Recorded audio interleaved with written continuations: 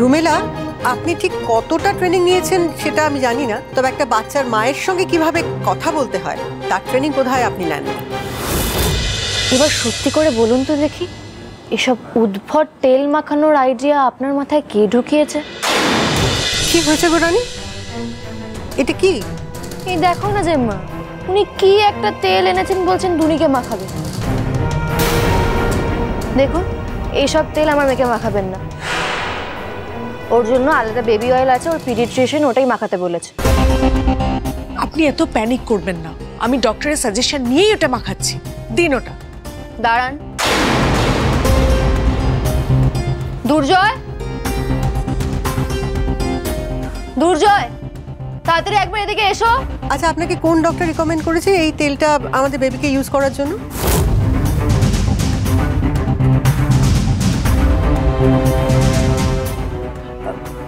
Doctor? সব ডাক্তারই তো বলেন। দু একজনের নাম বলুন তো শুনি।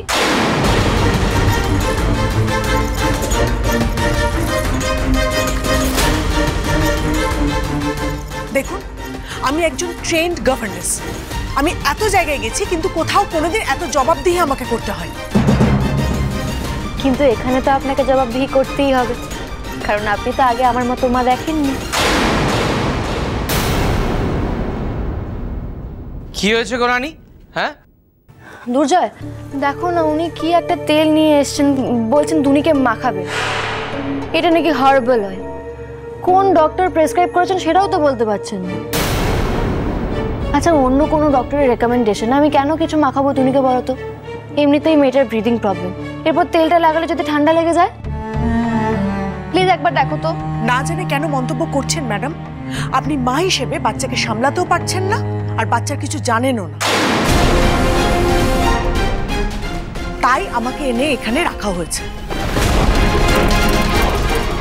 আমাকে আমার কাজে বিরক্ত করবেন না চার্জ করবেন না। হে শুনুন আপনি। এক, এক, এক। রানী দুনির মা। ও কথা বলবে না তো কে কথা বলবে? কই দেখি তেলটা। কোন কোম্পানির তেল এটা? কোনো কম্পোজিশনও তো লেখা নেই। কিছুই তো লেখা নেই দেখছি।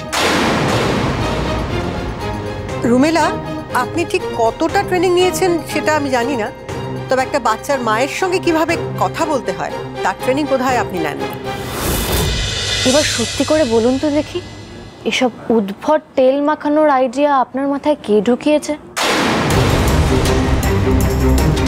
তো অদ্ভুত ব্যাপার।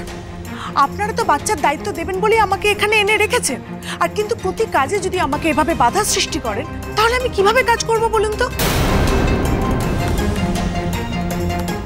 মাসিমা! মাসিমা! কোথায় গেলেন আপনি? এই মেরেছে। দেখো এই আবার কাকিমুনিকে কেন ডাকছে?